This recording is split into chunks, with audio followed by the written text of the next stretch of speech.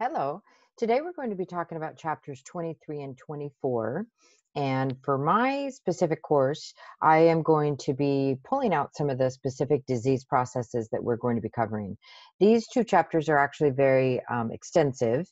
And if you're taking another course or if you are interested in learning more about our babies at risk and our babies with special needs, you will want to spend more time in the textbook uh, looking at those disease processes. So, when we are talking about fetal growth, there are lots of things that will actually affect fetal growth, and we've covered several of these um, in our lectures previously. I'm going to just um, make sure this is always visible. Okay, so um, maternal nutrition. If our mom is not getting adequate nutrition, or some of those disease processes like gestational uh, uh, um, hyperemesis could definitely affect it. Genetics also affect fetal growth. Some um, of us are uh, grow big babies and some of us grow smaller babies. How well the placenta is functioning, if we have maybe a marginal insertion or if we have um, a potential for um, abruption or uh, placental previa, placenta accreta, any of those could affect our function as well. And then environmental factors. Um, these will also affect how we are um, uh, growing those babies.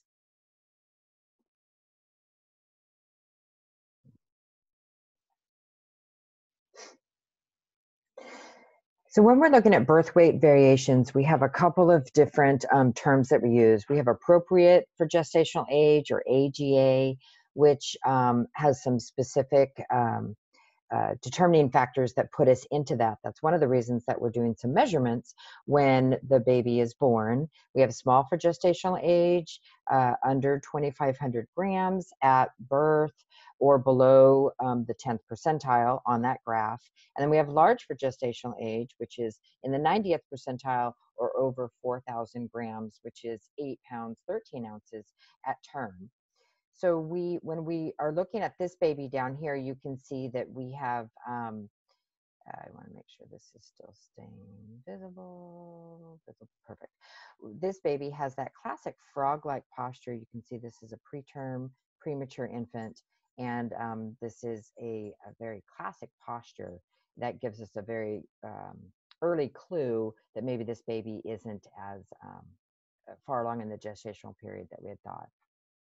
Here are two babies. This one is uh, obviously a large for gestational age, and here we have a small for gestational age, and you can see uh, these babies actually are the same gestational age. I believe they are, and they um, have very different looks to them. So when we're looking at birth weight, we also have our low birth weight infants, which is under 2,500 grams, our very low birth weight infants, which is under 1,500 grams, and extremely low birth weight infants, which is under 1,000 grams. And each of these babies have their own unique needs um, when we are caring for them. So here are some examples of some different sized infants, newborns. So our small for gestational age babies, um, we see sometimes they have a higher risk of perinatal asphyxia, meaning they're not getting um, the oxygen needs that they uh, needed during delivery. They have difficulty maintaining their temperatures because they don't have the same uh, lay down of fat underneath the skin as our uh, larger babies or our um, older babies. We have issues with hypoglycemia, issues with polycythemia, which can increase our chance of um, uh, hyperbilirubinemia. And meconium aspiration is at higher risk, and birth trauma. Because these babies are more fragile, they have um, the possibility of, of uh, experiencing uh, higher rates of birth trauma depending on their delivery route. And you might want to take a look at the table 23.1 in your textbook to look at some of those um, issues that can happen. So some of the risk factors that are associated with large for gestational babies, maternal diabetes or glucose intolerance. Um, um, we have a history of a macrosomic infant, post-dates gestation, maternal obesity, being male, they typically are larger, and sometimes it's just genetics. multi-parity, meaning they've had more than one pregnancy before. So when, women typically have their smaller babies in as their first baby, and then they grow larger babies um, with subsequent pregnancies. So some of our large for gestational age characteristics, we have that full plump face. They are proportionately increased in body size. Sometimes they have poor motor skills because they're so large they can't control their muscular activity. And they have difficulty regulating their behavioral states. Some of these really large gestational babies have a, a poor feeding ability and um, uh, ha, ha, end up in the NICU having to ha- have assistance being fed. So, uh, the other thing that happens with these large for gestational age babies is this chest diameter is much larger. And when we have a larger chest diameter, it's harder for these babies to turn and do those cardinal movements of birth and fit down through that pelvis. So, we have higher risk of having um, other conditions. We'll talk more about those in just a minute. This is a very large for gestational age baby. Um, this baby was uh, born to uh, the mother that had gestational diabetes and it was not very well controlled. And this, uh, whenever we see a large for gestational age baby, we are concerned that maybe we missed the diabetes or it wasn't as well controlled as we had hoped. And we're going to be looking at um, cardiac defects and hypoglycemia. The issue with our baby, as we've discussed in previous videos, is when you have all that blood sugar being shunted to that baby prenatally, and then suddenly that uh, the, the, baby is um, producing insulin in, in relationship to that high blood sugar. And when that cord is cut and the large amounts of high blood sugar are no longer there, the baby's pancreas continues to produce that insulin, and we see we experience hypoglycemia, sometimes very detrimental hypoglycemia. So we have to watch these babies very closely.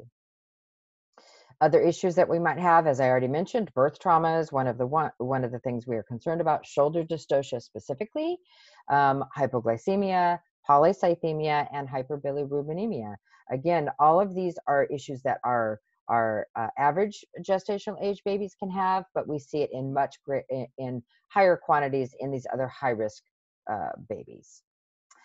When we're talking about term, preterm, late preterm, and post-term, here are the weeks. Um, anything term, you're going to see this vary between 37 and 38 weeks, but typically we consider um, anything above 37 weeks term. We would never induce uh, a mom for a non-medical reason before the 39th week. That was uh, an initiative that happened in the last couple of years, and we have definitely seen a decrease in our um, comorbidities with those babies. So um, induction does not happen before the 39th week unless there's a medical indication, a true medical documented uh, indication. Our preterm is before 37 weeks in between that 34 and 36 weeks, we call those our late pretermers. Sometimes those babies, um, the 35, 36 weekers, will be out with their parents and not in um, the nursery in the NICU. But they have a different needs than the babies that um, our our term. We they have a harder time maintaining their temperature. They don't feed as well. They're very sleepy, so we have to watch them a little bit closer. And then we have our post-term babies, which are considered after 42 weeks. But again, you very rarely see that because most um, providers are uh, inducing before that 42nd week. Our post-term newborn has um, some issues. Sometimes we worry about the placenta uh, being able to provide the nutrients that they need after 42 weeks. We do sh- see a sharp increase in um, neonatal or uh, perinatal death in our babies that are post 42 weeks gestation. That's why they push so hard to have those babies um, induced and born. You will see dry, cracked, wrinkled skin, sometimes meconium stained. That's not unusual. They sometimes will have long nails, they'll have creases over their entire feet. They may have abundant hair, that umbilical cord has gotten thin. There may be calcifications on that placenta. There may be limited vernix um, on them. And all of these are signs that this baby was post mature. The issue we worry about is that the placenta is not providing the nutrients that the baby needs. And so some of the testing that we do for that are NST and our biophysical profile are very important. If a mom um, feels very strongly about not being induced and she has a provider that is willing, they can continue doing adequate testing, which is every three days with good education to the mother um, about uh, fetal kick counts and paying attention to fetal movement. And they can do that every three days um, to make sure that that baby is still um, getting the what they need from that placenta. So here are some signs. This is a very peely baby. You can see that's kind of a meconium staining going on. And here is um, some of that peeling lotion is going to help. This is going to heal up on its own. It's just uh, because that vernix has gone away and is no longer protecting them from being in the water. Postterm problems, again, perinatal asphyxia, uh, greater increase, hypoglycemia, hypothermia, meconium aspiration, polycythemia. It's interesting. Uh, all these same problems that we see with our preterm babies, we can also see with our postterm babies. And then some of the things that lead up to preterm birth. We don't exactly know what causes it, but infection and inflammation is a very large suspicion. And we hope that moms have um, good, adequate dental care before they get pregnant. We there's some link to some dental caries and infection in um, that area that can lead to preterm uh, delivery or preterm birth and um, and labor. Uh, sometimes it's maternal or fetal distress we see moms that come in with preeclampsia that go into labor because their body knows the cure to this, the fix is to get that placenta off the wall. And so they will come into labor on their own. Bleeding or any of those bleeding issues that we've discussed in other lectures, and um, stretching. So as we have more than one baby in the uterus, as that uterus gets to capacity and is full, sometimes we will see, it's quite often we will see multiples are born early. Some of the preterm characteristics, they have poor muscle tone, they don't have that fat as I talked about before. If they're extremely preterm, they may have fused eyelids, that's extremely preterm. Their skin is very thin, transparent. They have absence to few creases in their soles, and that's one of the things that we um, look for when we are trying to determine that gestational age. We can perform a Ballard assessment, which will give us a good idea within, with accuracy of about two weeks around that gestational period, how far along this baby is, what gestational age we are at. And we will also going to see abundant vernix. That abundant vernix is um, telling us, remember that's inversely related to the amount of surfactant that is in their lungs. So if you have a ton of vernix, we are concerned that we may, maybe don't have that surfactant, so we're going to be watching that respiratory um, issues very closely. These are some pictures of our babies. This is a baby in an isolette. We have our monitors on. Um, this is the um, temp probe that is going to make sure that isolette is keeping that baby at the optimal temperatures. We are watching cardiac rhythm, respiratory rate, O2 sat. This baby has IVs. This baby is actually on um, some respiratory support and is in an isolette that looks like this. And you'll see these covered up, which is concerning to people that are not used to being um, around NICU babies. But remember, these babies are on continuous monitoring. So we know what's going on with them at all times. We also will see these. Um, babies uh, laying on their tummies and using certain positional aids. We would never recommend that for a term baby that's going home, but in the NICU, because their heads are so fragile, their bodies are so fragile, we have to be very careful to not uh, allow their heads to become disproportionately shaped because of how we're positioning them in the NICU. So this isolette is meant to keep them, it's, it's like a womb, and it's meant to keep them in a quiet, darkened environment so that they can rest, grow, and heal. We never want to tap on the glass. We try to cluster all of our care to let these babies still have some human interaction, but not overstimulate them. Their neurological systems are not ready for us to uh, uh, interact with them in the way that we would interact with the term newborn. So, a lot of this education needs to be done when our parents uh, first come in to visit their babies. Here's another little guy, um, oxygen saturation around the foot. You can see also has, looks to have some uh, high flow nasal cannula on there. We're getting feeding through an oral gastric or a nasogastric tube. These little guys can't, don't have the energy to take in the amount of calories that they need for growth. Uh, they use up all of their energy. So we regulate that very closely to make sure that they're getting the amount of calories they need for growth and not using it all up trying to uh, nipple feed. So some of the preterm problems, hypothermia, hypoglycemia, hyperbilirubinemia, and problems related to the immaturity of that immune system. Remember, we have discussed in previous lectures that the fetus gets a lot of the, that immunity towards the end of the pregnancy. And so if this baby does not get that IG, IgM through the placenta from the mom, uh, we're going to see even uh, uh, more repressed immune system. So our premature babies are, are very fragile.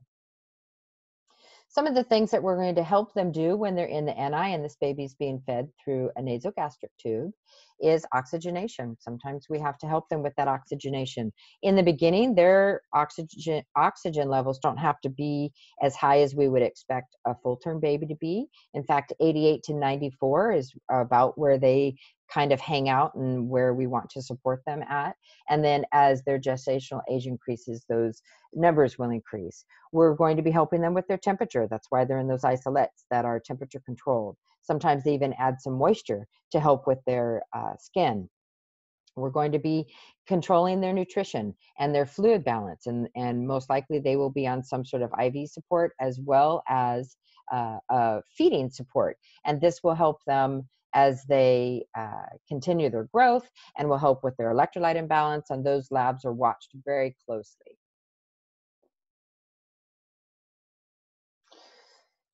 So the other thing that we will have to do with these guys is infection prevention. So most of the time you will um, have antibiotics, uh, especially in the beginning, because if there was infection that caused the preterm delivery to happen in the first place, we're going to be uh, helping those little ones get over. A lot, um, several of the medications that we use, well, one and specifically is ototoxic. So our babies have to be watched very closely with their hearing screens. And if they receive antibiotics that are ototoxic, gentamicin being the one I am speaking of now, they will have to have a repeat hearing screen after we have um, given that medication. I already discussed the decreased stimulation. We might have to help them with pain management, especially if they are um, having issues withdrawing from a substance that mom was using during pregnancy that now the baby is addicted to. We're going to be encouraging their growth and development. I discussed the positional aids that are utilized, and then parental support. These are um, parents that feel very inadequate to care for their children because they need such high levels of care. This is beyond what most parents uh, have in their toolbox. And so, as nurses, our role is not to do it for them, but to help them do it. When anytime they are available to come in and provide the diaper changing and temperature taking and feeding of this baby and holding of this baby. We very much encourage that because they are, after all, still this baby's parent, and we're just taking care of the medical aspect of it.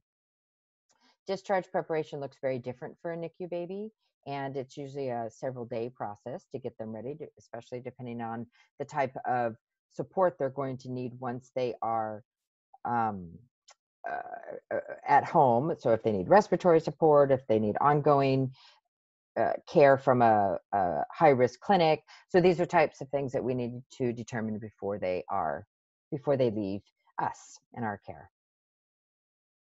So again, that late that preterm newborn versus that late preterm newborn, uh, there are challenges, and we need to be paying very close attention.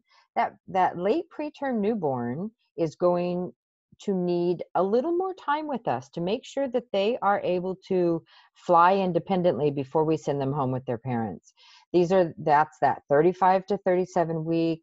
We definitely have some feeding challenges there. We want to make sure they have good follow up, that they have a medical home that they can follow up with, and that um, they have good resources to assist with feeding if need be. Now we're going to move into the newborn at risk uh, in chapter 24, and we're going to spend most of our time talking about acquired disorders versus congenital disorders. you will spend some more time talking about the congenital disorders when you study pediatrics. So I'm going to mainly focus on the acquired disorders. So basically, the difference between the two are acquired typically occur at or soon after birth, and congenital are present. They're usually due to some type of malformation, uh, something that happened with inheritance. Sometimes there's a complex etiology. Sometimes you can see um, uh, different uh, infections that can cause some congenital disorders but typically we would think of infection as an acquired disorder. Um, these are problems or conditions experienced by the woman during her pregnancy or at birth. Some of the acquired disorders that we see, we've talked about neonatal asphyxia. So, what you can think of that is our baby did not have the um, uh, oxygen that they needed in that perinatal time when they were getting ready to be born and uh, then they had a lactic acid buildup and that can cause damage to the brain. So neonatal asphyxia and or or the baby doesn't breathe right after delivery and uh, we don't help that baby soon enough. Transient tachypnea of the newborn that's that fast breathing. We see this very frequently in our c-section babies and in our late preterm babies the the c-section babies specifically don't get that squeeze through the vagina so they have all this excess fluid that they now need to breathe out. And so we see some transient tachypnea, and it can become worrisome if that baby gets tired and suddenly goes into respiratory distress or um, respiratory arrest. And so respiratory distress syndrome is what transient tachypnea can turn into. If respiratory distress syndrome is not treated, they can become very tired. It can move into other conditions like bronchopulmonary dysplasia and um, can end up being a chronic condition. We meconium aspiration is getting that meconium deep down into the lungs, which kind of acts like glue and doesn't allow those alveoli to open and the oxygen uh, exchange to happen. Our retinopathy of prematurity is a condition that is caused by the oxygen that we give to these babies, and it stops the growth of the retina, and they sometimes even have to have surgery to continue that blood supply and growth to the retina so that um, they don't have visual difficulties later. Peri intraventricular hemorrhage, PVH or IVH. I think most of this um, so so we see this we call this an intracranial bleed. Our younger babies our smaller for gestational age babies and our uh, uh, younger gestational age babies will have an increased chance of interventricular hemorrhage. And this is the reason that we give um, moms magnesium sulfate for that neuroprotection at delivery. It is to try to avoid this uh, peri intraventricular hemorrhage Necrotizing enterocolitis is a condition that happens in the gut, and it is usually from lack of um, blood supply, and part of that gut is not functioning and starts to die. And these babies are very sick and typically um, may need surgery to help correct that problem. We've discussed the issues with infants of diabetic mothers. We've discussed some of the birth trauma that can happen. We'll spend some more time talking about that in just a minute. We have newborns of substance abuse mothers. Uh, these babies have to withdraw from those medications, and sometimes this is a several week process for that to happen. Hyperbilirubinemia, we're going to spend some time on that one, and newborn infections. So you can see there's a lot of things that can go wrong that are specific to our newborn period. Respiratory distress syndrome comes from uh, lung immaturity and that lack of alveolar surfactant. That's what keeps that, that alveoli open in order for that gas exchange to happen. So our nursing assessment would be the things that we've talked about when we're doing our normal newborn assessment. If you see nasal flaring, retractions, central cyanosis, uh, tachycardia, uh, or tachypnea, a fast heart rate or fast respiratory rate, we need to confirm that we don't have um, uh, respiratory distress syndrome. And they would do a chest x ray and be looking for some specific findings in that chest x ray. We may have to support them with some oxygen and or some pressure using CPAP to help these little guys keep those uh, lungs open. Here are a couple of different ways that we can support them. This is the traditional um, ET tube that uh, you uh, ventilation, a mechanical ventilation that would happen for this baby. Here we have a CPAP, and every four hours we're going to move these prongs from nasal to a mask type because these little babies' faces are so fragile and so moldable that if we kept the same type on for the period of time that they might need it, it could actually change structure, cause structural changes in the baby's face and nose. So they will typically do evidence based is to change these um, every four hours back and forth so that we don't cause permanent changes. And then this is a high flow nasal cannula. We do use um, tape that is specifically made for this purpose to help these babies. And remember, their skin is so fragile that we have to be uh, very gentle when we are um, utilizing these tapes and glues. Birth trauma is typically related to the forces of labor and delivery and that baby coming down through that pelvis. Some of the things we might see are fractures, fractures of the humerus, fractures of the leg, uh, brachial plexus injury, cranial nerve trauma, head trauma, cephalohematomas, and caput. Caput we've discussed in previous lectures. That's that swelling that happens under the head, under the um, skin, and it crosses that suture line. Uh, hematomas do not cross that suture line. And if we see a hematoma forming, we need to be very uh, on the lookout for um, inter- in, increased intracranial pressure. Uh, we are always doing our nursing assessment looking for anything that is odd in the physical assessment swelling the inability of the baby to move their arms symmetry structure function.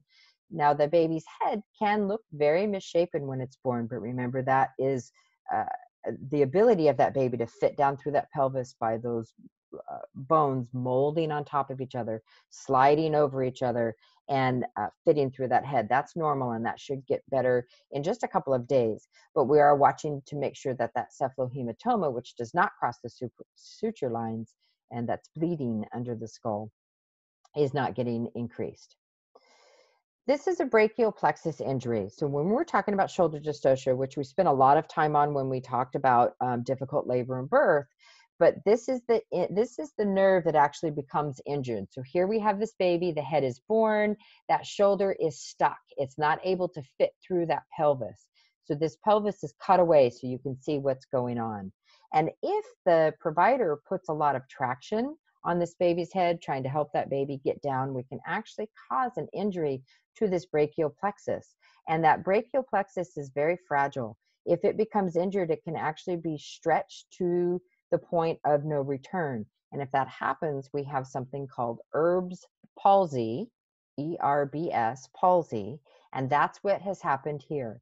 So you can see this man obviously had a brachial plexus injury, has had some surgery to try to fix it, and um, unfortunately is is probably has no use of this arm. That's why you see the muscle wasting happen here. This is a classic sign of a baby that has Erb's palsy. They're not able to move that arm around right after delivery. So if you've had a shoulder dystocia, this is one of the assessments that we're going to be performing on the newborn. We're going to be looking for that Moro or startle reflex, and we're going to look to see if that baby naturally is able to lift their arm or not.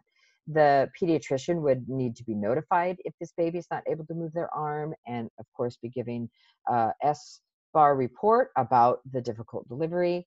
And sometimes they will put these babies in a sling. They'll do some x rays to make sure that we don't have a broken humerus. And occasionally, that nerve is just stretched and swollen and can recover. But if it's been too great, they um, are not able to recover that, unfortunately, and it becomes a permanent injury. So we don't want any of our babies to be injured, and that's not ever our goal but some of the maneuvers that we do we need to be very careful so that we're not encouraging this in- injury to happen so McRoberts pulling the mom's legs back and doing that that suprapubic pressure those are two of the maneuvers that have been determined to help give us more room and help this baby come out without applying additional pressure on this baby's neck and potentially causing that brachial plexus injury. So that's Erb's palsy that results from that injury if the baby has had trauma during delivery, we need to, of course, be supportive to that family. Um, an open, honest dialogue is the, the best course of action. Of course, you're going to follow whatever policy and procedure your facility has come up with, and the, the provider should be having this conversation with them.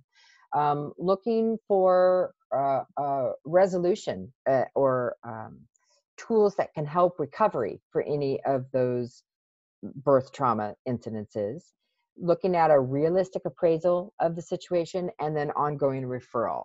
These would be our roles. And again, the provider is going to have um, hopefully a good conversation with the family and do a debrief and talk about why they think that this injury might have occurred and what our next steps are from from this point forward. I'm going to spend just a minute talking about hyperbilirubinemia. I know I've discussed this in other lectures, but I want to spend just a minute talking about it here.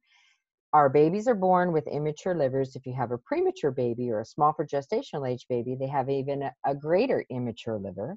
And so we do see physiologic jaundice. That is a common event for many babies. 30 to 40% of our babies have some um, version of physiologic jaundice and that peaks about the third or fourth day of life and then proceeds to get better. Sometimes we will call our um, babies that are breastfeeding, our, our solely breastfed babies, we call it not enough breast milk jaundice because the volume is not there it, it, eh, eh, present in the breast to get the babies feeding enough to start excreting that excess bilirubin. They excrete it through their stools. So we sometimes we'll see not enough breast milk jaundice. And in that case, um, we can encourage mom to hand express and give spoon feed or cup feed, anything that the that she gets out of there. Lots of skin to skin time, um, encouraging feedings, especially if that baby is sleepy there are some facilities that have donor breast milk that we could use as a supplement and if none of that is working and the baby continues to rise and we're starting to worry that we're getting into that high risk zone we might even consider a supplement with formula because we want to make sure that this baby doesn't get into that high risk zone.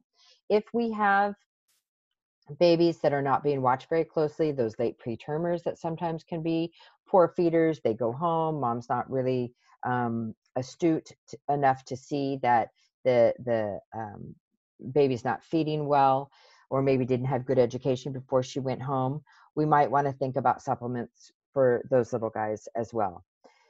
And our late onset breastfeeding jaundice is something that happens weeks down the road. This is not something that happens at birth. So sometimes you will see pediatricians say, we just need to give formula and that will break this cycle. And what they're referring to is a late onset breastfeeding jaundice. And again, this is not going to happen at birth.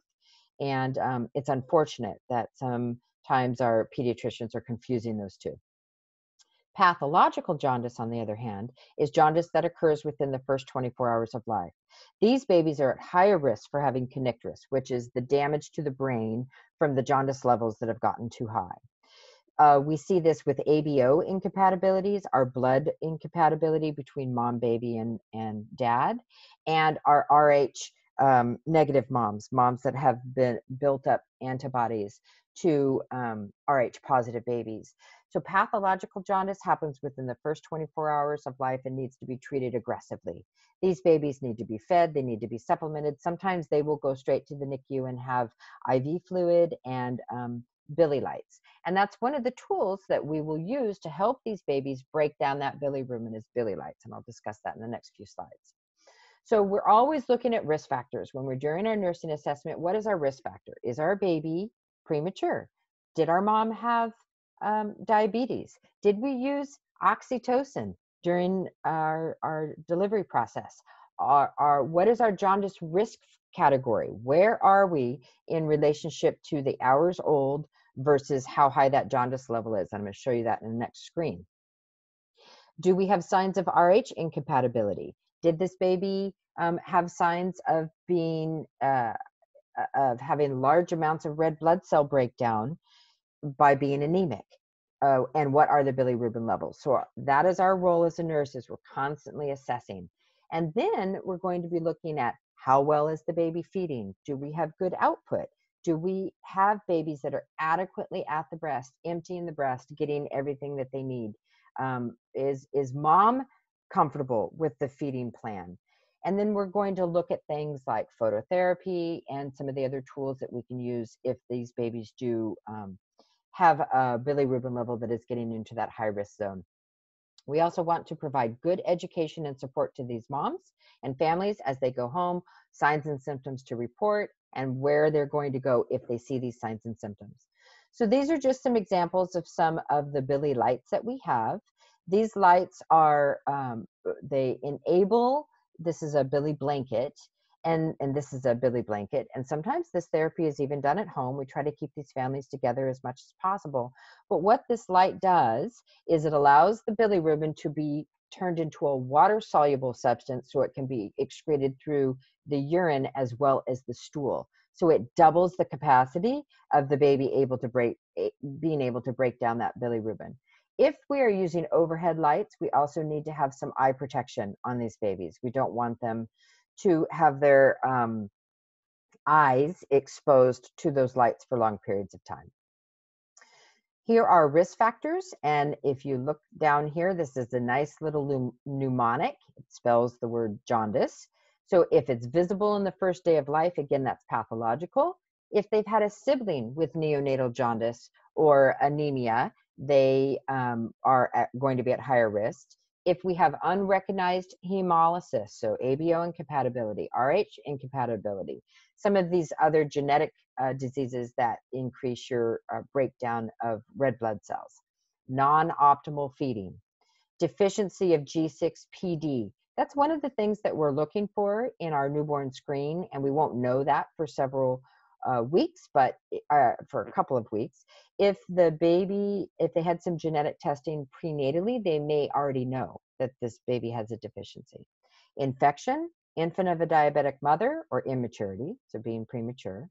If they had excessive bruising or a cephalohematoma, or if their hematocrit is high, which we typically will see in our infants of diabetic mothers, then over 65%, then they are at higher risk because they have more red blood cells that need to be broken down. And if they are East Asian, Mediterranean, or Native American heritage, they have higher levels of bilirubin.